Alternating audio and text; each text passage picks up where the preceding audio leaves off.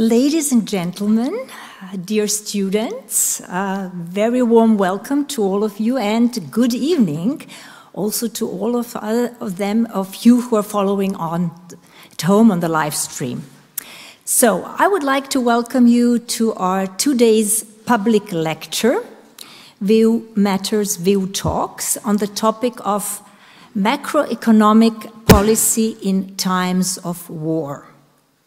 My name is Tatjana Oppitz, and I am the Vice Rector in charge of infrastructure and digitalization here at the Vienna University of Economics and Business. As part of the WU Matters, WU Talks, a series of unique panel discussions and lectures, WU has created a platform which facilitates sharing of knowledge and insights between academia and public. The objective is to address economic and social issues and contribute to responsible understanding and accountable economic action in order to solve economic, social, and ecological challenges. Scientists, researchers, and experts from the corporate world, as well as from public institutions, share their expertise on current issues with an interested public. Now, on tonight's topic. Ladies and gentlemen, tomorrow, on December 15th, the European Central Bank's Governing Council will meet and decide on interest rates. For this decision, the Governing Council will be assisted with new forecasts for inflation and economic growth. Predicting the future of macroeconomic variables in European countries has become an extraordinary complex task in 2022. The war in Ukraine has led to a significant increase in economic uncertainty worldwide and, of course, in particular in Europe. Currently, we experience double digit inflation rates in the euro area, a phenomenon that would have been unthinkable less than a year ago. Conducting monetary and fiscal policy in an environment of high uncertainty is extremely challenging Uncertainty tends to reduce the effectiveness of fiscal policy, since the private sector tends to be cautious when facing a more unpredictable future and responds less to fiscal policy actions. The same way, enacting monetary policy becomes complicated in the context of low predictability of inflation and output growth. How can we improve our macroeconomic models to ensure that predictions and the estimated effects of policy impulses remain credible and can serve evidence based policymakers? I would like to take the opportunity to thank the Department of Economics for organizing this lecture tonight. So I will stop here with my introduction and hand over to the experts, first of all, to Professor Jesus Crespo Cuaresma. I'm not sure I pronounced it correctly, yeah? Jesus for sure, but the rest I'm not so sure. Professor for macroeconomics at our university, who will introduce our guest speaker and the moderator. And Jesus, the stage is yours. And ladies and gentlemen, I wish you a very nice evening. Thank you.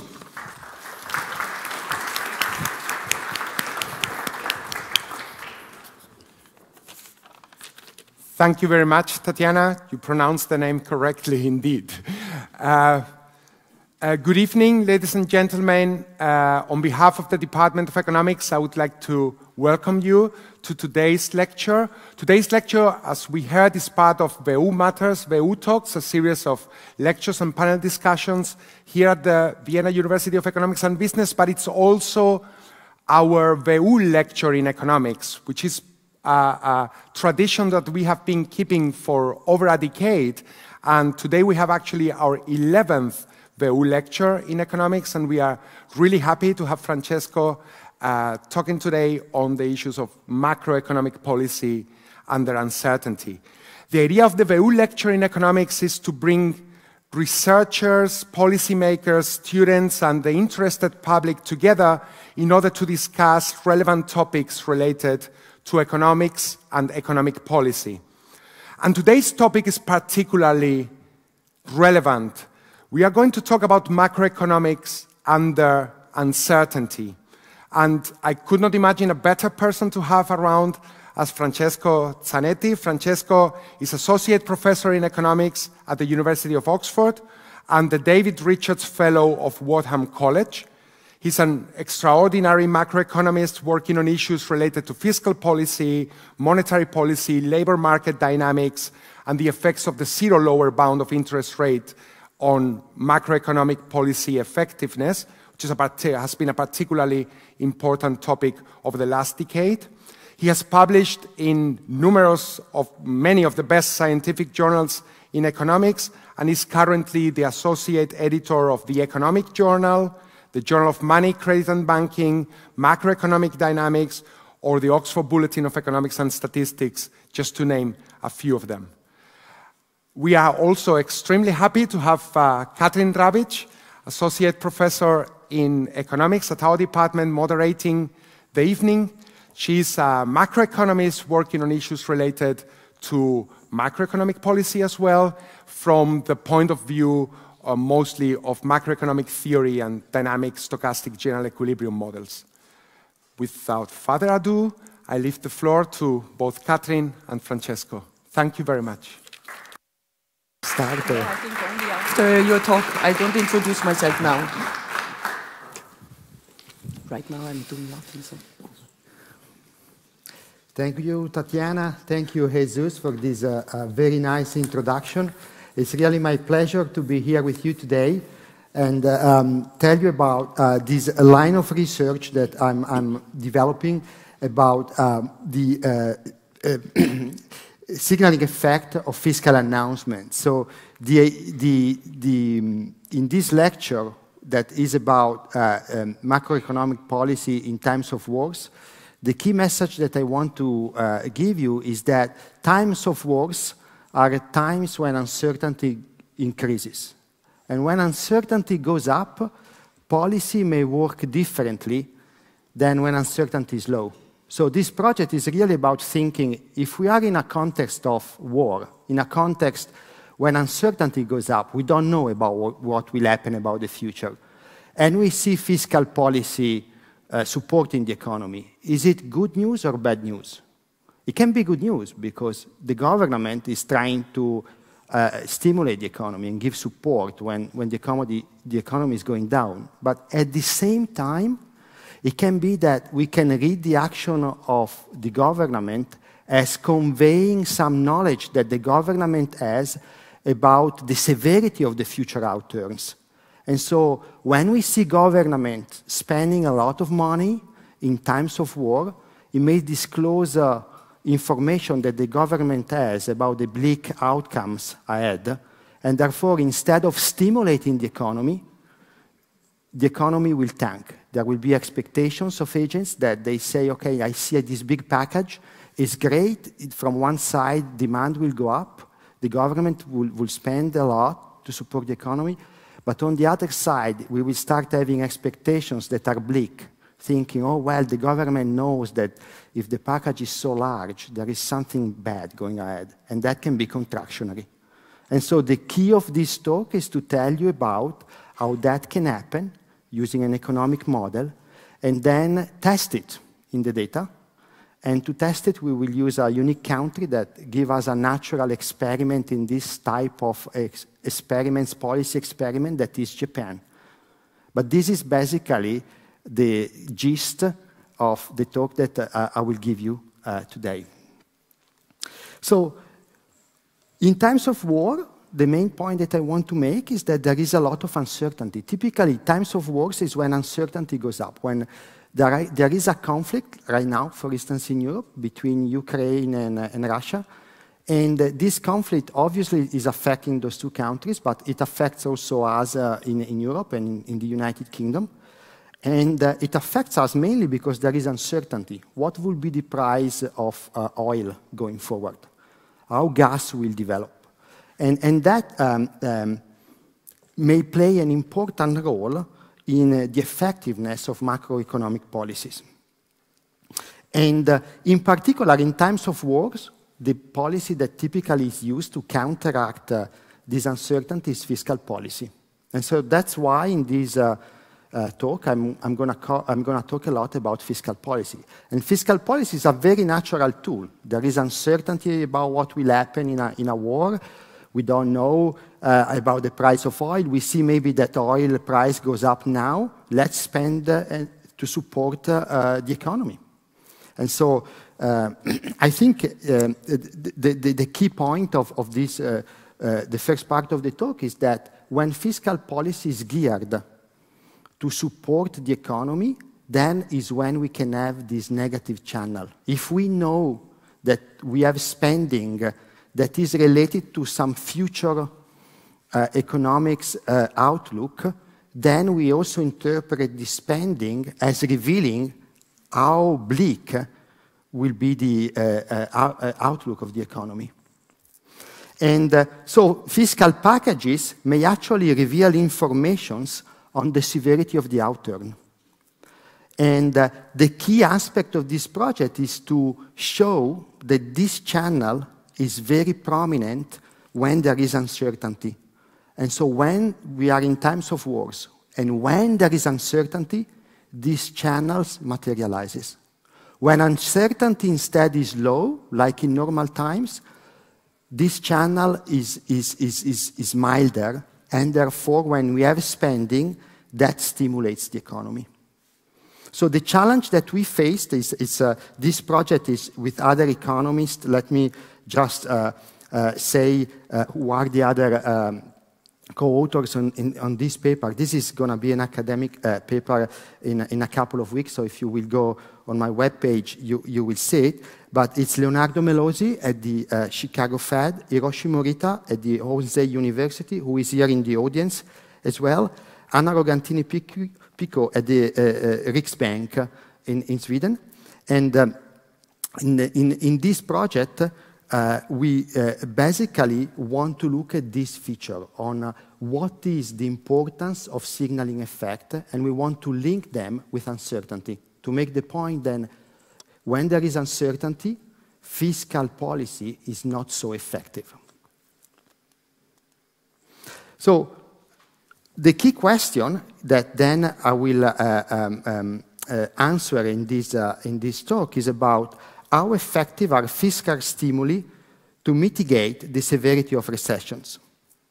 And the key point is that when we see a fiscal stimulus, the size of it may convey information about the government's view of the economy. i.e., the stimulus can have uh, uh, bad news uh, uh um, because uh, it shows that the government may act, may enact, may have public spending because it forecasts or it predicts that the economy is going down. And so the announcement in fiscal policy, they have two components. One that is the standard expansionary effect, because fiscal stimulus would increase aggregate demand. And the other one that we, we, we, we studied and we show uh, it, it is there in the data and in models is a contractionary effect related with the signaling that fiscal policy does about the future of the economy and the effect that that signaling has on the expectations of the agents that then they determine the actions of the agents today. So the key question of, of, of, of this uh, uh, uh, talk is about uh, showing you some evidence of those effects. It's, it's, not easy to find this evidence because you need to have uh, uh, experiments, policy experiments, where the fiscal stimulus is geared towards some potentially bad news that you have in the economy. And the times of wars are excellent for that, or times of natural disasters. That if you have a natural disaster, so if you have a war, immediately, if you see government spending, that can be informative on the severity of war. And so part of the talk uh, will be uh, to uh, show you that in a country like Japan, where there are a lot of natural disasters, and there is a lot of policy uh, uh, in place, fiscal policy, in order to prevent those natural disasters, they give us a chance to test this theory, to see, okay, we have a country where policy is geared towards potential disasters. What is the effect of this policy? Is it always expansionary or not? So that will be how we will test the theory that I just said about uh, the signaling effect of fiscal policy. And what we will show you is that actually there can be a strong component of signaling effect that neutralizes the expansionary uh, intention of fiscal policy. So fiscal policy, when you have fiscal policy in times of war, is less effective. So if you want to have the same effect, maybe what you need is a big push, that fiscal policy moves even more. Or you need to think about how you convey your message about fiscal policy. So what are the main findings that uh, uh, we find is that one is that we construct a novel data set to test this theory. Um, and uh, the theme of this uh, lecture is, is about war. Unfortunately, we don't have many wars such that we have many data points to, convey, to test this theory. So what we did, we used Japan uh, as a natural experiment. In Japan is a country that uh, it, it, has, unfortunately, uh, many natural disasters. And as I said earlier on, these natural disasters, they then force the government to have uh, some stimulus package to help the economy. So there you can have potentially this signaling effect because in Japan, when you have a disaster, then you, you have an announcement of a fiscal plan, and that announcement can tell you, you can extract from that announcement potentially uh, a bleak outlook for Japan. If, if, if this theory is right, what you would expect is that the fiscal intervention there is not as effective as in normal time. So what we do then, based on this idea, we collected the daily data on Japanese stock prices and then we look at the narrative records from press releases about a set of uh, extraordinary fiscal uh, packages introduced by the Japanese government from 2011 and 2020. And, idea, and the idea there is to see, is the stock prices sensitive to those announcements? And uh, if we compare uh, the response of stock prices to those announcements, when we have natural disaster, fiscal policy gears toward natural disaster, does it have a different effect of announcement when we have fiscal policy that is not uh, done uh, uh, because of those disasters? For instance, if you, when Japan won the Olympics, immediately needed to modernize the country, to have more infrastructure. To do that, it announced a series of fiscal spending. That is not related to any disaster, so it's not revealing any signal that something is going bad. If we compare these two groups of uh, fiscal interventions, do we see any difference? And from this comparison, then we can say whether we do have a signaling effect or not. And that's actually what we did. We tested it, and I will show you the uh, uh, empirical results later on. But uh, we actually find two main things that there are these fiscal stimulus, the one related with a, a, future outlook of the economy that can be negative, the natural disaster packages, uh, were often interpreted as negative views by the stock market. So you see that the stock market, instead of going up as much as it would typically go to a given size of fiscal expansion, it would go up less or even be negative. And uh, the bearish response of the stock market are more common when uncertainty is large. So, and this is the real finding of this, uh, of, of, of this project, that what really matters for the signaling effect is not only that fiscal policy is linked with the future state of the economy, but that there is uncertainty. When there is uncertainty, like in times of wars, this channel is prominent. When there is not uncertainty, this channel is there, but not, is not very big. So here, the big message is that in times of wars, in times of uncertainty, the effectiveness of fiscal policy changes. And it's precisely because there is uncertainty. Without uncertainty, this channel is very weak or is not even there. So before I go into the details here, this is a slide uh, that is meant to tell you that there has been a lot of research in signal, signaling effects for monetary policy, but, uh, but not research whatsoever in fiscal policy. And at the same time, in fiscal policy, many, many researchers, they found that the spending multiplier, how much you, uh, if you increase government spending of 1%, how much your output reacts, that's the multiplier, is state dependent, meaning that it, it varies across the business cycles.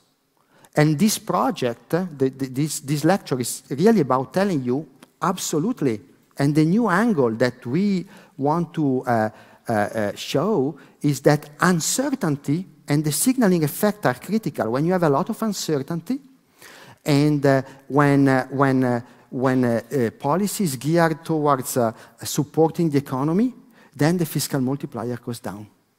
And so the, the point here is that this is really a novel finding also in the academic literature. It's not only something that is very important for governments, but it also contributes to this uh, uh, extensive literature that, that you see there. So now what, what I want to do to substantiate uh, the message that uh, I gave you today, I want you to do two things. First, uh, uh, the main, the first two things is to show you that in models of standard economic models of economics, standard models of economics, you do have uh, uh, this signaling effect. That is something that in theory you can have. There I will be brief. The paper has more uh, detail on it. And then the second thing that is very important is about uh, using the insights from the model to test this theory, to show you how in Japan, when uh, you have this controlled experiment, where you have a control group that fiscal policy is not linked to any negative outlook, and you have a treatment group where you have some instances of fiscal policy that are linked to something that happened in the economy and, and can give you some signal, our econometric tools, they show clearly that the signaling effect is there. And uh, how the signaling effect is not linked to policy per se. It's not just the fact that um, uh, policy is geared towards stimulating the economy. But the signaling effect is there when there is uncertainty. And uncertainty, like in times of war, is the key feature. And, and then we will look at the, how important is this channel, uh, to what extent, uh, what is the reaction of stock prices, for instance, to uncertainty, and then I will conclude. So here, when we are thinking about uh, uh, um, the, the, this issue, how would we model it as economists? So this issue is tricky because to think about this issue in a formal way, we need to have a model where there is imperfect information, where agents, they see the economy, but they don't see exactly how the economy uh, uh, evolves. They, they have a notion that GDP moves, there is this variable GDP that moves, but they don't observe it clearly. There are revisions to GDP, so the underlying true GDP is not known by the government, but the government needs to form expectations about it. To then have policy that if GDP seems to be falling, policy that resurrects this, this variable of GDP. So we need model with imperfect informations, and we need model where the government has potentially some advantage. The government can observe uh, uh, uh, uh GDP with some uh, uh, um, um, error, the underlying through GDP, but it has also some tools that such that it can have some information that the private agents they don't see. They don't. They, they, the private agents typically they don't have sophisticated forecasting. Households they, they, they form views, whereas the government can really uh, uh, access to data that the private agents they don't need. So we need a model where we have imperfect information, but also asymmetric information. And then in this model, we need to have that fiscal policy is counter-cyclical. And that is critical because if fiscal policy must increase when output goes down. And finally, we need to have that the uh, expectations are relevant for the state of the economy, that if agents see this government spending that goes up and demand goes up, nonetheless, if they have negative expectation, they will start spending less to prepare for the hard time ahead, and therefore output will fall. So we need a model with these four ingredients. And here I have the simplest model that you can have, which gives us these ingredients. So you can think that the economy, there is GDP, that is this variable X that everybody wants to know, but X is, is, is, is, is, is not uh, fully observable. But X respond uh, uh, positively to some fiscal spending, G, government spending. And so if government spending goes up, X goes up. But also, uh, uh, GDP depends on the expectations of the agents. So those are uh, uh, uh E, uh, that variable E in brackets, the expectation of GDP given the information of the private sector. So here you can think that GDP depends on two things, on government spending and on private expectations. And plus there is an error, something that uh, unsystematically uh, makes GDP moves that, that is not due to the government intervention and is not due to the expectations of the private sector. So this is a very simple model. It tells you if the government spend, output goes up. If the expectations of the agents are good, output goes up. And the policy function is how does government spending happens here? Well, government spending is uh, government spends money in reaction to the expectation that the government has about GDP. If GDP goes up, then the government decreases spending. If GDP goes down, the government increases spending, and that is captured by this parameter psi that is negative. That is the counter-cyclical monetary policy. So the idea here is very simple. You have a model, the government can push up uh, uh, output, or the private sector uh, can push up output through the expectations. What is important is that the government needs to form expectations about the state of the economy, about how GDP will be. And uh, those expectations are based on what the government observes, what the government observes of output, plus there is a, a, signal, a noise in what the government can do. They do a forecast, but there is always an error in it. Finally, the, the agents, they form these expectations by receiving a, pub, a, a private sig a signal on how the economy looks like with an error. So now we, we, we have that these agents, they receive a signal on how the economy is doing. At the same time, what the agents do, they can also, they know the forecast of the government, what the government think about the economy. And that can be revealing on, a, a, a, on the underlying state of the economy. So if the, if the agents basically, they receive this signal, but they also observe the action of the government that reveals the expectations that the government has about the economy. So basically now what the agents have, they can, in their information set, look at the private spending, at, at the government spending, and that will reveal what the government think about GDP. Or, and they also receive a signal that everybody receives about the state of the economy. Now, you, now we, we, we are in a world where in this simple model, government can tell you, can give you extra information on how output uh, uh, uh, uh looks like in the future from the forecast of the government. And that is the signaling effect.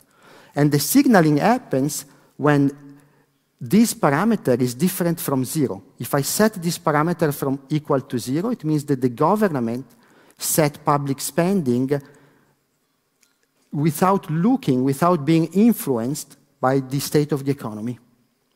Now, all this uh, first part of the paper is to show you that in this simple model, we have uh, uh, signaling effects. We have uh, the following. So when, when uh, here, I think that probably what I will do here, I will skip those technical details and go to the intuition. So the intuition here, from this simple model, we get four effects. First, that the policy actions, if they are exogenous, if they are not linked to the state of the economy, then there is no signaling effect. So if the, go, if the agents know that that parameter psi is equal to zero, if here, in this parameter, this is equal to zero, then the, the, the, what the government announced is totally unrelated with the state of the economy. There is no signaling. And so the expectations, then the, the agents, if there is no signaling, then uh, the, the, the, this negative effect in the economy is not there. That's what the model tells us. To have the signaling effect, you have that the agents know that policy is countercyclical and it depends on the expectations of the government on how the economy, GDP, will look like. Then we have signaling. Then, what this model tells us is that the more uncertainty the private agents have about the state of the economy, the more in this simple model this signal is noisy. This is a public signal that everybody knows about the state of the economy. The more noisy it is, then the more the government will, the more the uh, private sector will depend on, on uh, uh, the um, uh, uh, signaling of fiscal policy to know how the economy will be doing. So if you have a signal that is very noisy, if you don't know where GDP will be in the next period, suddenly uncertainty goes up today, then you take this information from the government. The government becomes even more important because the uncertainty that you face about uh, your own uh, beliefs is so high that you say, maybe the government can give me this uh, signal that I don't have. And then the signaling effect becomes important. The final point is that if the eh, policy is sufficiently strong to stabilize output, the signaling effect weakens. Despite you have a lot of uncertainty, if the counter-cyclical uh, response of output, if, if, the, if, if you have a big push in public spending, that counteracts the fiscal stimulus. So the idea of this simple model is to just show that to have signaling effect, you need that policy is linked with the state of the economy. You need that there is a lot of uncertainty, that you, you are unable to read the, the, the economy, to, to tell by yourself where the economy will be, and so you rely a lot on the government. But when you do that, you know that the government only increases spending if the economy is tanking. And so that creates this signaling effect that despite the government increases uh, public spending, your expectations becomes bleak and you tend to spend less. So from one side you have that the government pushes it up, from the other side you instead you say, well, precisely because they do it, it's going to be diff- it's, it's to be hard time I had. It's better that I don't spend much today, and that erodes the effectiveness of fiscal policy. Then what we do in the paper, we, we, we look in a, in, a, in a model that is more uh, micro-founded based on standard theory, and we see, is this theory reliable? Will the model based on this theory generate sizable effect of, of, uh, of, of, of uh, um, uh, uh, a sizable signaling effect? And here what we do, we play with the uh, uncertainty parameters, the variance of, of the noise, and we look on how the stock market, the response of the stock market changes to uh, a 5% increase in, increase in fiscal policy when uncertainty goes up. And you see that we start, uh, we, we can look at stock market or output. If we look at the stock prices, for instance, we start that they are positive, but then when uncertainty increases, then is when the private sector and the agents, they start looking at the government to see whether they can extract information from their action. So if uncertainty is very large and you have an increase uh, of 5% in government spending, you think, wow, it means that things are going badly. And so the stock market, the response of the stock market decreases as uncertainty goes up and potentially can become negative. So this is the theory. There is nothing here that says that's what happened in reality. We built a little model that was a laboratory, something that out in our mind we felt it made sense. We formalized it on a piece of paper, a lot of paper, a lot of pencils. You get the solution of the model, go to MATLAB, simulate it, but there is nothing that says this makes sense. So the next thing is to say, let's go to the data. Let's test it. Here we have predictions. Theory tells us, look, if you want to test it, you need to have fiscal policy that is related to the future state of the economy. Theory tells us, if you want to see strong uh, uh, signaling effect, you need to have an uncertain times. So now what we did in the next part of this journey we said, okay, uh, let's go and let's look for some data that they have this, uh, this feature.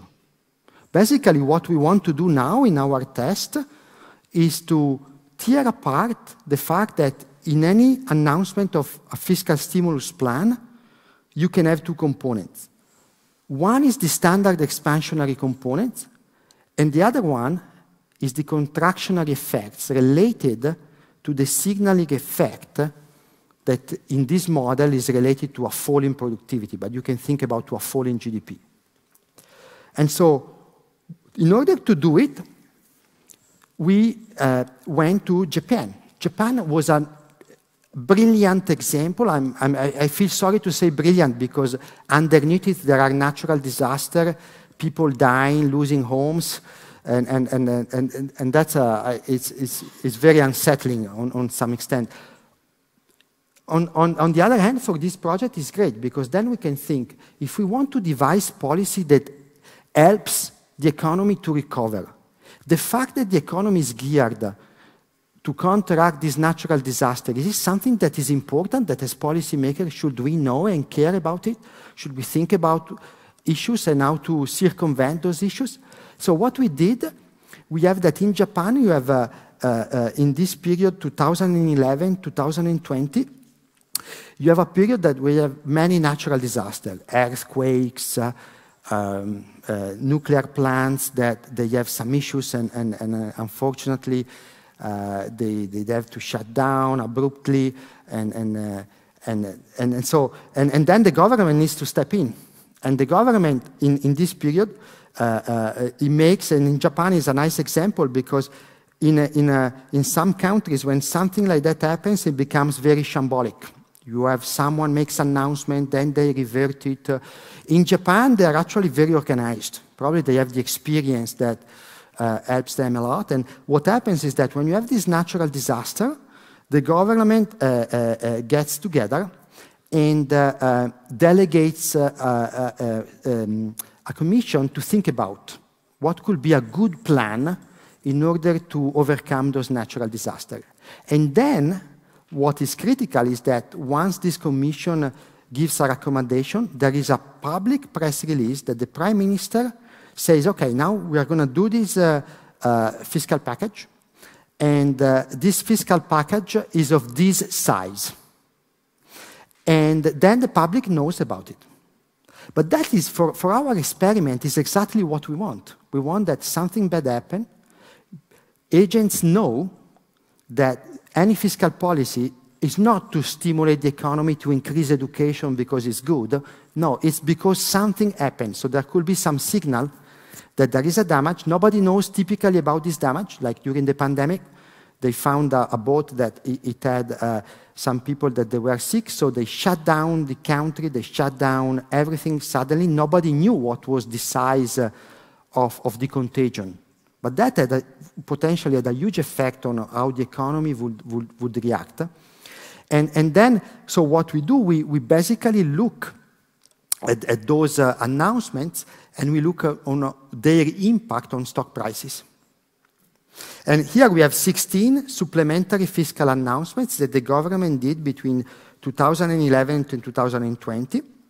And uh, we have timing of the news releases uh, from reading of the Nikkei newspaper. This is the, the, the biggest newspaper in Japan, the one that uh, uh, uh the uh, investors and the public reads and the news used to um, make news. And um, the, the good thing is that uh, in each of these announcements, you have that uh, at one day, in one time of the day, the prime minister says, declares the size of the fiscal package. And then what we look is how the stock market reacts to it. Now, the important thing when you do this stuff is to say, okay, now we, we can estimate that, but what would be the counterfactual? How would be the word? What would be the effect of policy if we didn't have this uh, uh, uh, potentially signaling effect? And so here, uh, uh, uh, what, what, what, we do is also to um, have a control um, estimation where we also look at fiscal expansion that was not aimed to counteract natural disasters. Those are experiments like when fiscal policy is totally exogenous to the state of the economy, like when, for instance, Japan won the bid for the Olympics. Japan won the bid of the Olympics. Then the prime minister went public and said, now we increase public spending. And because we need to uh, modernize Japan, we need to do some infrastructure, build stadium, then we can have a feeling. Those are a totally exogenous event. Or when they, they won the Expo, similar. So what we did in this project was to have a, control group where we have this uh, potential signaling channel, and instead a group where uh, uh, uh, we, we sorry, we, we, sorry, we have a treatment group where we have this channel in place and a control group where we don't have this channel in place, and then we can compare the two and see how different they are. So here you, you, you just have what I said about the phases of the announcement, where the Prime Minister instructs the Cabinet, first phase. The second phase, which is the one that we will use, is critical, is that there is a public discussion and the prime minister announced the size of those fiscal packages. And then there is a third phase, which is the ratification. So part of this project was also to show that what really matters to quantify the signaling effect is when these packages are first announced. The ratification and the discussion where people are uncertain about it does not matter. So here, just for the account, you have, uh, uh, for each of these packages, you have the, the, the uh, uh when was uh, uh, the size of those packages announced. And, and you have the dates and what happened. But mainly, it, those are related to natural disasters like earthquake or nuclear disasters, reconstruction. Some of them are related to Abenomics. And also, uh, some of them, actually the, the strongest one, they are related with COVID, when uncertainty, as I will show you, was very high. So, as I said, we will have now the, our experiment will, in, will, uh, um, uh, uh will be of uh, testing this theory on two groups. One is our control group. Those are the exogenous announcements when there is no uh, risk of signaling. Those are the Olympics. The other one is the signaling, uh, which is the treatment group, where uh, fiscal policy is endogenous and it may convey information about future of the economy.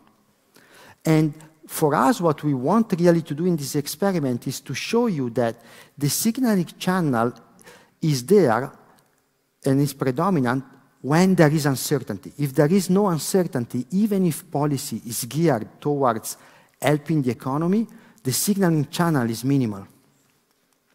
So here are the two uh, uh, groups. So those are, uh, on, on, on, your left, are the um, exogenous fiscal spending. Those are the general election, the Tokyo Olympics, and the Osaka Expo. As you see here, what we show is the response of stock prices in uh, the three days after the announcement. So in, in the period uh, uh, between zero and one, this is the first day. At that point, the announcement was made. And you see that at the end of the day, the stock market unequivocally goes up, and it goes up in the next three consecutive days. And the red line is the average. So on average, you see that fiscal policy is what we studied in, in textbooks. The government goes there, it says, uh, I do public spending, I'm going to build roads, I'm going to do new stadium. Uh, bang, the stock market goes up. And the stock market summarizes a bit uh, what investors, what uh, uh, uh, the, the, the, public takes out of those announcements. On the right-hand side, you have these 16 supplementary budgets. Those are the days, the bleak days when the prime minister goes in face of the, of the nation and says, we are doing fiscal spending, we had this earthquake, um, and this is the size. What you see is that, in general, the sign on, on these curves tells you whether on the first day the reaction of the stock price was positive or negative. In general, you see two things that first, the, the magnitude is, is much smaller. Typically, it can be also in the negative territory, but on average, is around zero. So the point of this research is not to say that the signaling effect makes the reaction negative. It's to say that instead of being a clear positive reaction to public spending, it is less positive. Fiscal policy becomes less effective. In times of uncertainty, this channel of expectations makes fiscal policy less effective. So that is, is, uh, is, uh, is something that already gives you a feeling on, uh, on, uh, on the fact that there, there could be a signaling uh, channel of, of, of, of, fiscal policy. But then, from here, you cannot tell what is driving it. Why, in some instances, is higher, the reaction is higher and positive, in some is lower. And in the next part of this talk, what I'm going to show you in a, in a few slides is that that is related to the degree of uncertainty. Those lines that they becomes very negative is when uncertainty is very large. Those are periods when the public is really uncertain and takes this signal from the government, this public spending, as indicating a bleak outlook. The fact that there was an earthquake is not an issue. The issue is, is that when there is a lot of uncertainty.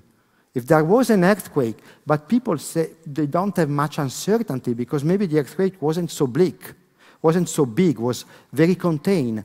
The package is huge, but the earthquake uh, was very contained. The signal, in fact, is not there. The signaling effect really needs uncertainty to bite.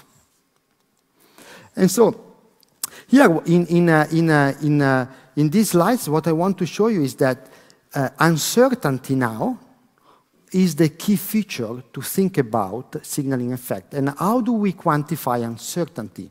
So here it is tricky, and, and in the first set of slides, what I want to show you is that you can think of uncertainty that comes out from surveys of people or firms. If you ask firms, what do you think about the future? Or if you ask households, what do you think about the future? What do you think about asset prices?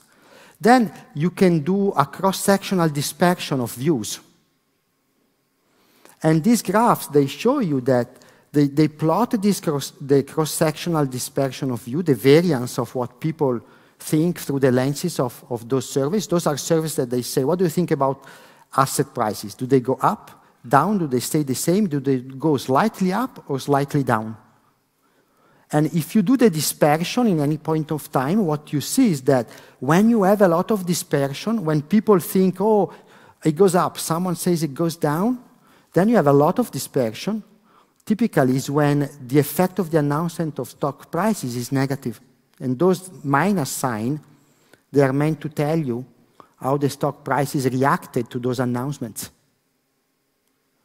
And so here is just to build up in your mind the idea that uncertainty is really critical for this, uh, uh, for this, and confidence that agents have is really critical. Now, those are survey data. And here I have uh, some others based on those is firms. The Tankan survey is uh, is based on firms' conditions, but you see that even for firms, when, when the, the cross-sectional dispersion of views is large, firms have different views. There is a lot of uncertainty. Depending on who you ask, you get a different answer. Is when the stock market falls, when there are those announcements. Now, those are quarterly series or monthly series. But to capture these uh, effects, you want series that are uh, eye-moving, daily series. So what I did here was to show you that those views, those views uh, from the surveys, they are well captured by the Nikkei index, which is a daily measure about the stock price. That they're highly correlated. They co-move together. So in my estimation, in my last slide, that I'll show you uh, in, in, a couple of minutes, uh, I will use this Nikkei index because this Nikkei index, the, how the stock price moves, correlates highly on how uh, uh people form expectations on, on, on the cross-sectional dispersion of expectations of, of, of, of firms and households.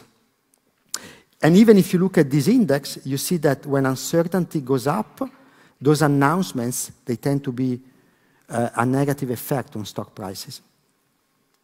So here is the final uh, uh, uh, slide. I have a couple of more, but Uh, this is in this slide. What I do is do a regression where I look the change in the stock price at different horizons. In one quarter ahead, two quarters ahead.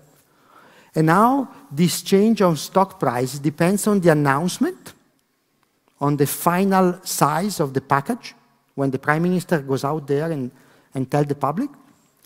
And now also it interacts with the uncertainty index. So what, what this theory tells us, the way in which we test the theory is the following. If this theory is correct, we would expect that when this is large, and there is the announcement, when uncertainty is large and there is an announcement, this becomes positive, negative, and significant. So this beta H is negative and significant, that having an announcement in period of uncertainty is significantly decrease the change in the stock price. And that's what we do, and that's what we find. We find that this term is actually negative. The announcement alone doesn't have a, a significant effect on, on, on the stock price. But it does and negatively when there is uncertainty. And so this is summarizes a bit your lecture. Your lecture was about the government, when it uses fiscal policy to counteract uh, uh, downturns, can also provide uh, signal on what it thinks about the outlook. Those signals are important when the public is not confident, there is a lot of uncertainty, then it uses fiscal policy to extract information that it cannot extract by looking at the economy because there is a lot of uncertainty. And so fiscal policy in those times becomes less effective. Here we have the response of stock prices.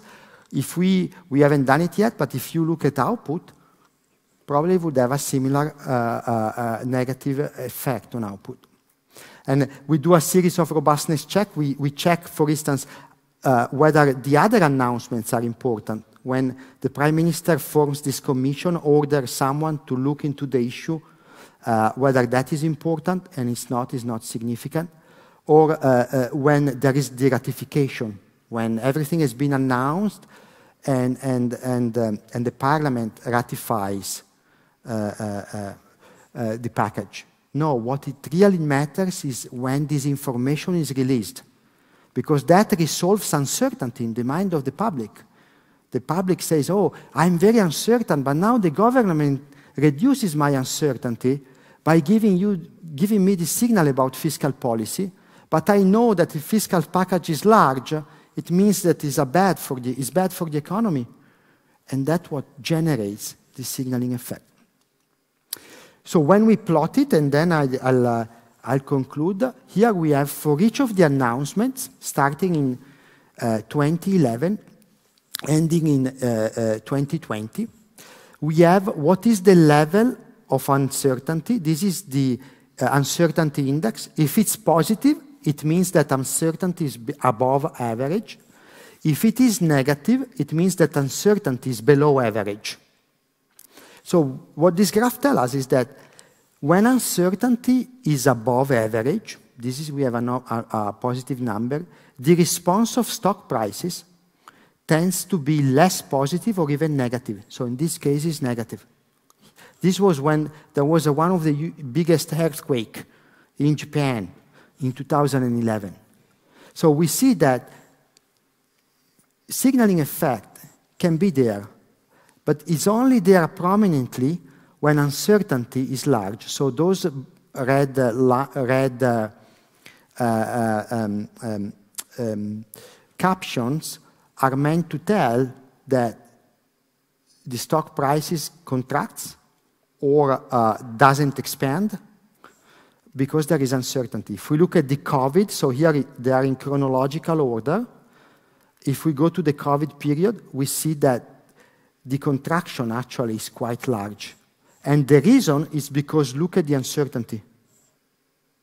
Very high. So with that, I'll, I'll conclude by saying the following, that fiscal policy typically is expansionary, and it's good.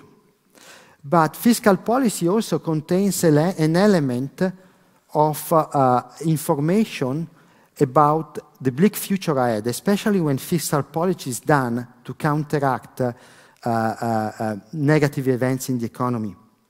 And uh, these signaling effect, what I call signaling effect, is uh, negative uh, news about a positive fiscal expansion is high when uncertainty is large. If uncertainty is not large, then it plays a minimal role.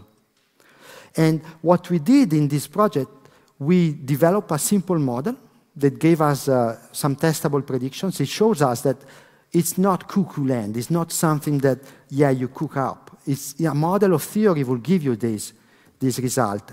And when we take this theory seriously to the data, we find it. And the key to find it, to detect it, is uncertainty. In normal times, this is not an issue. But so the open question then for so, policymakers is uh, how to fine-tune fiscal policy in times of war when uncertainty is high. And that is still open. Because on one side, you have to intervene. On the other side, your action is enacted by the fact that there is a lot of uncertainty and you give signal uh, to agents. And with that, I conclude, and uh, uh, I think we will have uh, some discussion ahead. Thank you very much. Thank you.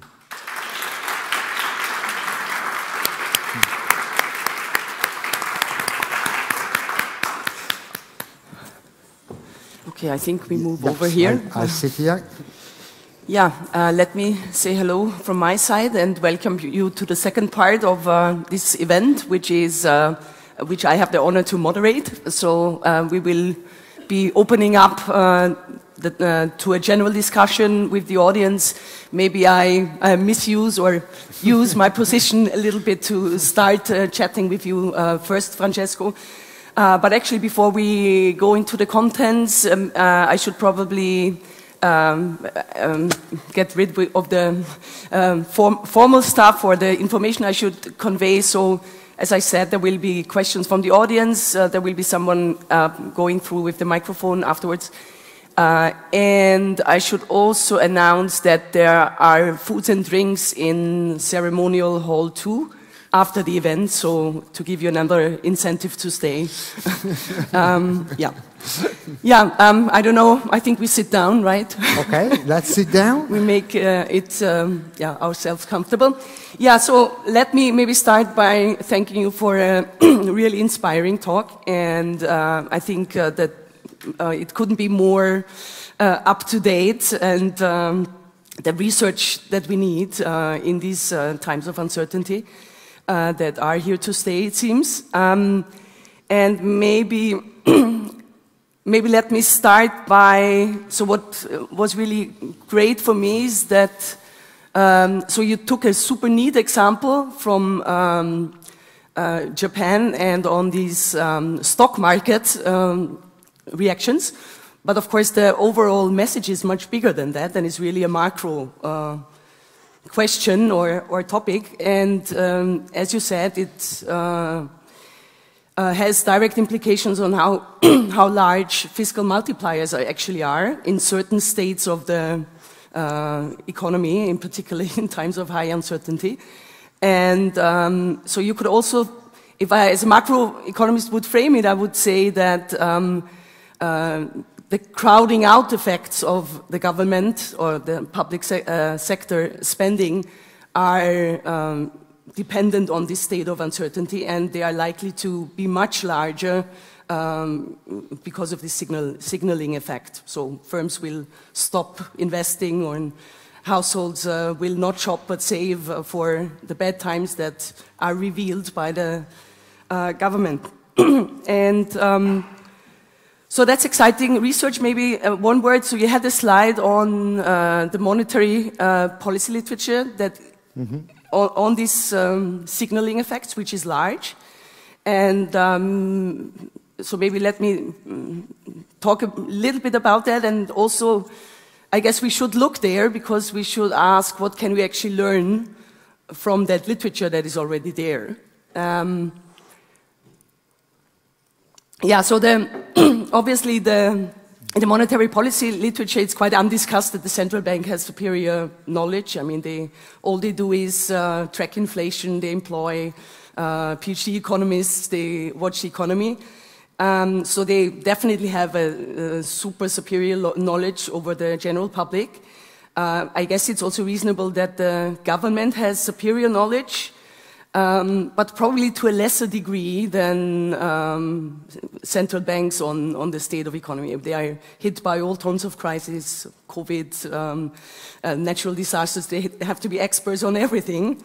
Um, so in a way, how, how big is this um, uh, information advantage that is actually revealed?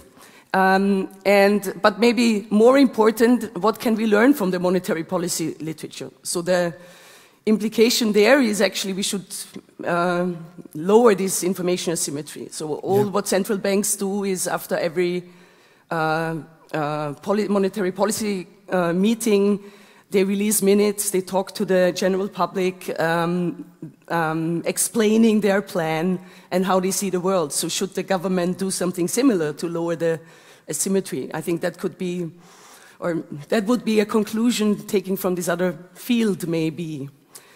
Um, yeah, so this would be interesting questions. I, I guess the answer yeah. cannot be that the government should not react to so, such. So I think for, so. For the first one, yeah. I think that in, in this project, what we found is is that is not necessarily that the government has some superior information mm -hmm. that is more precise, but the government has some different information. Mm -hmm. The government form expectations, and those expectations are different from uh, what the private sector uh, already knows about the signal of the economy, and and precisely because are different from the private signal, they can convey some additional non-redundant information to uh, the private sector. So for us, it's not really that the government has a superior information, it's that it has different. It maybe makes different errors, it, does a, it has a different model in mind, mm -hmm. but it becomes informative. And the content of information becomes more and more uh, precious when you have high uncertainty, when you you need to form your own expectations, but you have a lot of uncertainty in the economy. So you, you, you, you, you can't really have precise expectations, but then you have this additional information from someone else that is different from you that you can use. But you know that someone else is going to do certain actions, increase G, only if uh, uh, uh, GDP goes down. But so the, the, what we have compared to the, uh, the, some type of literature for monetary policy that was more about the Federal Reserve has better information than the private sector, so it can use it strategically. The private sector knows that, and that creates signaling. For us, is more the government is not superior in any way; it's different. Mm -hmm. And so that, that I think for us was quite important because it was more general. Now, what can the government do to mitigate this? That is the big question. Is there any way in which the government can communicate differently? And that is difficult because to break, so the theory tells us, well, easy. To break the signaling effect, you need to tear apart the relationship between the policy action and the state of the economy. But that is the essence of fiscal policy. Fiscal policy gets voted, and people in parliament spend a lot of time to think about it, especially because it's the, one of the few policy tools that can help against natural disasters. With, with monetary policy, we can talk about inflation and, and other sources. With monetary, with fiscal policy, we can't. So that is difficult. It, it, can you envisage a world where you take out the signaling effect by simply saying policy is unrelated to what happens to the economy? That, that is difficult. And so in this line of research, we haven't tackled it yet. That is how we end uh, uh, the paper saying next stage is to think about is there any way in which government can actually alleviate uh, uh, these, these uh, maybe in, they can have some different way in which they communicate, that they can be contingency, can be, mm. but that is something that needs to be investigated. So I don't have an, an answer. In terms, another point that you made about uh, um, uh, uh, the, how the signaling effect, how the fiscal, how the signaling effect affect the fiscal multiplier. Here, in previous research, the, real, the, the effect was how policy crowds out. That if the government spends money, then it, it, it, makes it, uh, it competes with the private sector to buy goods, you can think, and prices goes up. So if you increase demand, prices goes up. If the government increases demand, prices goes up. If the government build bridges, the material to build, to build those bridges, the price will go up. And that is the crowding out. By, going, by this price going up, it crowds out private investment. The government does it, but the private sector doesn't do it because now it's more costly because the government has done it. The crowding out effect that we have here is radically different. different. It's based on expectations. There is nothing about scarcity and the government going there and spending money and raising prices and alienating private investors. Here it's all about expectations. The government gives you a signal, you are like, I'm gonna. Here the economy is gonna tank. I'm gonna wait to spend because I don't know. There is this uncertainty. And so it's a completely different channel that generates uh, um, uh, what they, in, in Jergo, they called uh, state-dependent fiscal multiplier, that they change the effectiveness of fiscal spending, uh, but it's through an expectation channels. That is, is, uh, is something more tenuous, difficult to detect, than objectively looks like what is the demand compared to the supply. If the demand goes up, prices goes up, then we will have that people spend less money because it's more costly. And so that, that is why it's tricky. And the trickiness is, is also that the signaling effect uh, is not necessarily that is negative. It makes policy less positive, and so it's more difficult to detect it. You see an expansion in fiscal policy, the stock price goes up, but not much. Uh, what part is signaling? What part instead is a natural reaction of the economy? That was why we had this experiment in the uh, uh, control and treatment group. Yeah, um, I mean, in times of uncertainty, of course, the government's information itself about the state of the economy is also affected. So it's not. Uh, so in actually in your model, when varying this increase in the size of uncertainty, parameter, did that uh, apply to everyone or to the private sector? Uh, main, mainly, mm -hmm. it, it is critical that applies to the signal of the private sector, mm -hmm. what the, the, the agents observes to the fundamental, how the fundamentals of the economy, they become more uncertain. So if also the government actually uh, has a lot of noise in, or is unable to forecast very well, then the signaling effects sort of disappear because the agents know that also the government uh, cannot do very good forecasts. So the expectations exactly. are not very good, and so that uh, detracts the information that the government can convey by the action of policy. If I know that, you know, this policy action, it has a lot of uncertainty as well because the government expectations are totally imprecise, then becomes not informative for me as well. That is another angle that we discuss in the paper, precisely as you said. Mm. Yeah, let me maybe uh, look into the audience and uh, take questions from the audience. As I said, I do not want to monopolize here.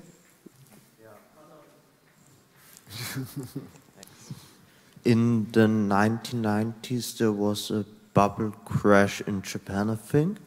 And can we use this model in these times of uncertainty or not? So you can do it. So the issue that we had in Japan was also about the data. Uh, how far we can go with these uh, uh, announcements and how was the framework consistent. So in the 90s, I think we also faced the issue of not having data, for instance, on expectations. I think probably the Tankan survey goes back to the 90s, but the other surveys, they don't. So that's why we limited. One of the, of, of the challenge that we are facing now in order to put the working paper out is precisely to go back and see also those, uh, those longer view on, on, on, on how it looks like. Because in the results that I showed you, most of the negative actions comes from the COVID period. What we want to show is that that applies also earlier on. But right now we, we, we, we, are still collecting the data and see whether the data is consistent in order to do this uh, extension.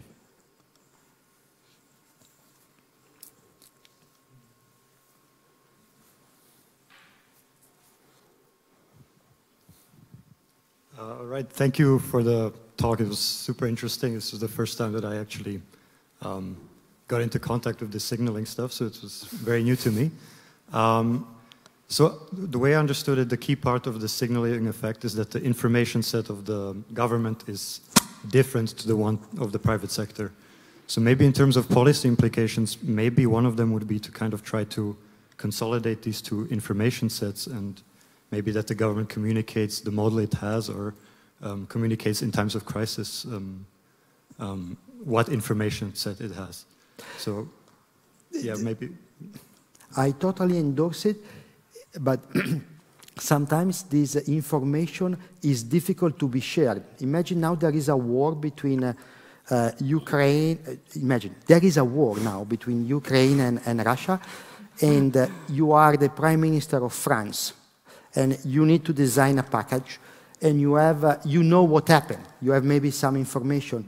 Would you be able to release this information? Would that, would you feel releasing it? Because maybe also you don't know. You, you, you have this intelligence that, you know, things are developing. Uh, there are some issues at the border, and that is uh, affecting some supply chains. Do you, can you do it? If you can do it, then I agree that if you can consolidate the information set, then you would uh, wipe out any signaling. But uh, is it in your own interest to do it in times of uncertainty? I don't know. But that would be a good way to think about how to neutralize uh, this uh, uh detracting uh, contribution of signaling to an expansionary fiscal package. That, that would be a very clever way, very tricky though. And as I said, I think in the end it will boil down how we communicate. Maybe we, we can, uh, another way would be to counteract these negative expectations with some other communication devices. But th I think there we will probably need more uh, research. I mean, maybe following up, so when I think of COVID, that would be more an example where um, the government could have um, shared the, their view or information with the public. And uh, I mean, you could say that formally this was um, going on. So there were always, of course, uh, statements by the government with any with every action, but the deepness of um, these communications um, was typically not. yeah, was not very deep. So also it is intrinsic that uh, nowadays governments are very open, and I think it's very, very, it's very rare that government conceal information. But it is intrinsic in what happens is that when there is uncertainty, they don't even know and the public may attribute knowledge that is not there. And so it is by construction, by default, by human nature, that you can have this channel at works in times of high uncertainty, even with the best intentions. I think that, you know, if I look back at Europe, what happened in, in my country, in the UK, what happens here in the continent, the government had, had the best intentions, but the world, when the world becomes uncertain, you can read out of action things that maybe are not there, but you act on it. And that creates, if your expectations are important on what happened today, acting on those expectations generates the outcome of today. And so that are, is tricky.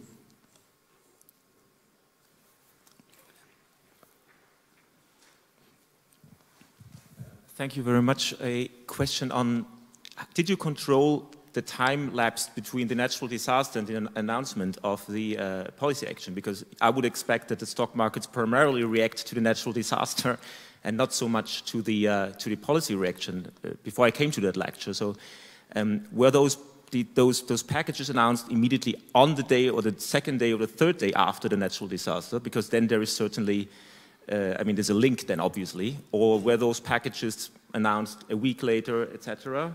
That would be my first question. The second one is more of a remark. I mean, in times of uncertainty, governments usually uh, announce packages that are a whatever it takes package. So they just announce packages that are probably way too big. And I work for the uh, Ministry of Finance, so I have a, a certain you know, uh, knowledge about what the policy or what the politicians do. So they have an incentive to announce a package that is big, that is, has to be big. Look at what happened to, uh, during COVID. So it's probably, uh, and we, we, see that in the data, uh, the money is not used that is usually announced. So um, that is also something that probably is a good advice, uh, uh that, the, that the policy should be fine-tuned and uh, Um, policymakers should better think about it, but it's just, the, it's just built into the system of expectations. A politician has an incentive to announce a package that is as big as it can, it can get, uh, at least at these uh, times. Huh? Thank you. So those are very uh, good questions. So the, one of the tricky bit with this line of research is that when you are talking about fiscal policy, it is less structured than monetary policy. So in monetary policy, in a way, it is easier to study things because you have meetings that are at certain time, uh, at certain time of the day, uh, uh, within a time framework that is narrow. Agents are very prepared. Fiscal policy is not like that. Fiscal policy, even the normal fiscal policy can happen on a Tuesday, on a Wednesday. Um, in, in Japan, uh, there were announcements, there is the, the, the, time in the paper, but the, some they were like uh, 9 a.m., others 5 p.m. So that, that it is tricky. And typically, the announcement it wasn't uh, um, the, in the next day after the disaster. It will take some time because that is the second phase. In the first, so the, the disaster happened, the first phase, the prime minister say there is this commission of wise men that they need to think about the issue. And then the second phase, so here uh, uh it will take some days before it happens. But the interesting things that you can think, oh, now people will prepare. So they would, uh, you know, they, those expectations, they will, there will be little reaction because they know, they will hear about something and they will form expectations. But still, the second announcement was significant and that had a significant impact. That tells me that it is really when the news is released, when agents know the size or they have a view on the size, that that is, is, is, uh, is when uh, you, is important and has the signaling component. There is a signaling component related to it. The fact that they want to overdo uh, can be an issue that can bias. So your, your point is that maybe can bias uh, the results because uh, that could be, but agents, if, if you systematically overdo it, then agents should discount it. The signaling effect should, should, should go down. Instead, it still goes up. So I think that in a way, uh, I was surprised as you were to see that it is significant after a, a few days when people already know it's, it's, it's going to be a big disaster. Uh, uh, and to me, that was uh, uh, why I felt excited.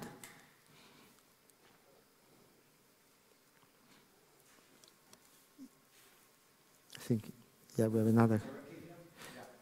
Uh, building on top of that, Yes. but there's still um, a source of information that you have not um, exploited in here, which is the fact that the government would have press releases, or you know, you have been reading the Nikkei newspaper, so there would be also a qualitative type of feeling of anticipation or of disappointment or of uh, of um, uh, yeah, this type of you know qualitative feelings about the narrative in which these fiscal packages are presented. So, do you plan or could- would it be a good idea to exploit via text mining or via uh, information gathering in terms of the, the narratives of those announcements? Basically, the same way as monetary policy, as the monetary policy communication literature is doing, to try to have a look at whether anticipation modulates those signaling So effects. the, you, you, we have a final section in the paper where we want to do is to control for the forecast, for the anticipation of, of the agents. And we haven't fully done it yet, but this is on our agenda to show that even if you control for this anticipation, even if you clean uh, uh, uh, the, the estimation from the fact that there is some anticipation effect to test whether this signaling is still there. Yeah. I, I I agree that is central and that is something that uh, we are doing as we speak.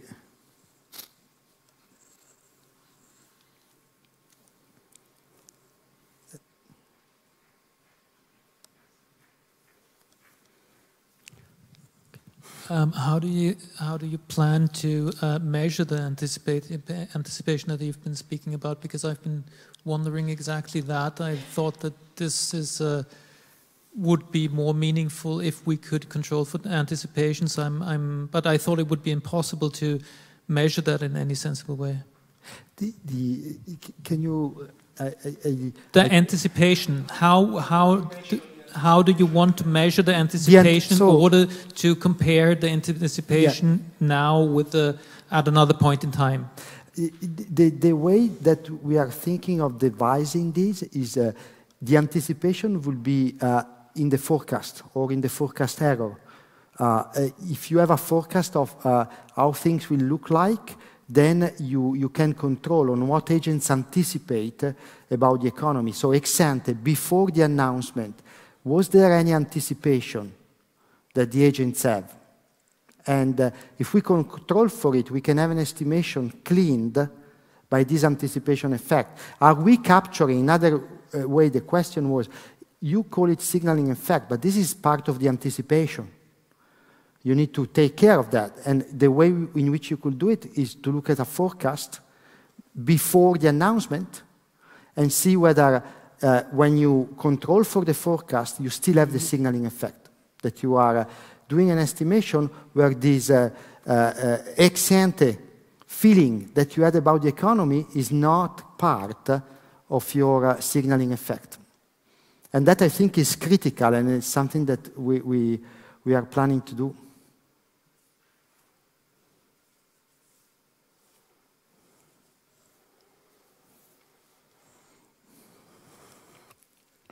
Yeah, so in terms of uh, designing, uh, or as, a, as the government designing these packages, um, maybe uh, it should look at the spread of um, or consumer confidence, uh, like you did in um, in in guessing how how big this uh, signaling effect will actually diminish its actions.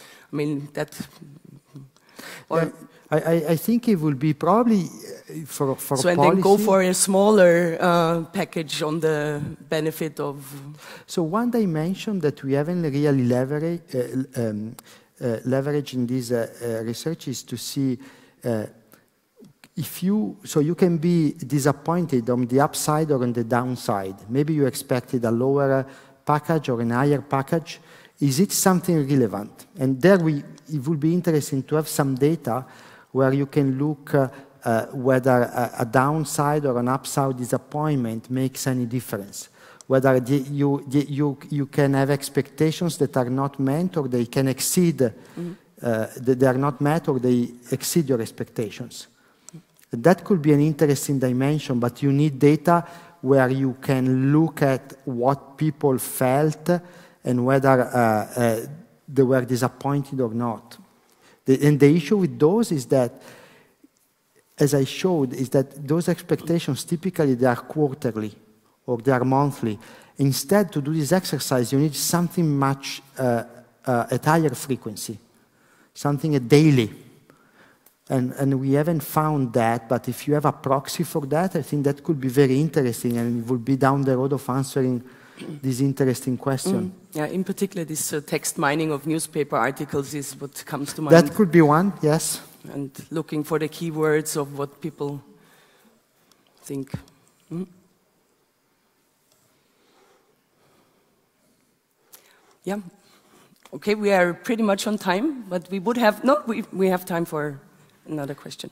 Thank you very much for the interesting uh, presentation. So one question that I would have is uh, how you know the counterfactual. So for example, if there is a pandemic and say it would on net uh, reduce per capita GDP by 10% and then you make a fiscal policy, you increase uh, your expenditures, say, by 1% of GDP, and then say the net effect is that uh, GDP per capita is only reduced by 5 percentage points. Yeah. So then uh, the multiplier effect would be 5, although the effect is negative, right? And with the um, Olympics, you could have, for example, the effect that on net it would increase per capita GDP by 1 percentage point, and you have an additional, additional expansionary fiscal policy by 1%, then the, uh, the multiplier would only be 2, uh, so it would be rather low, right? Although on, uh, so it is higher than the, than the starting point. So could you, uh, how can these two be, um, yeah, So th there your exercise will be uh, uh, how the pandemic without intervention will be compared to the pandemic with intervention. so our exercise was different. Our exercise was between no signaling signaling. So that, that experiment uh, um, will, will, require a different analysis in the sense that there is not about uh, uh, signaling effect, or is loosely about signaling effect, but is more about counterfactual. What would have happened if we didn't have uh, any, any effect? That, that, that we haven't looked at it will be something interesting. If we do a counterfactual where there is no inaction, where there is inaction, where the government does not intervene, what would have happened? And then there you can see uh, uh, how, um, I think you can do three things. One is, if there is no signaling effect, how it will look like. One is if you have signaling effect, and one if you don't do anything. And then you can use that as a benchmark to have the multipliers against this uh, signaling. But we have, so we haven't done that. I, I I cannot do it, but we can do it. I think that's a, it's a good advice.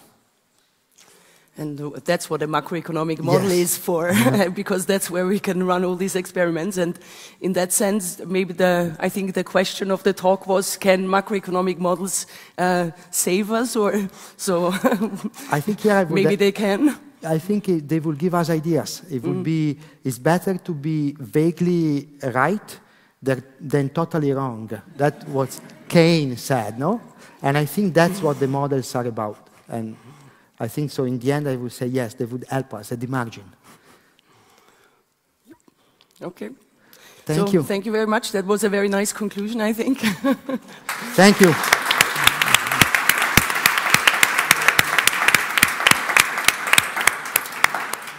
Yeah, and uh, food and drinks uh, in the other ceremony. ceremonial.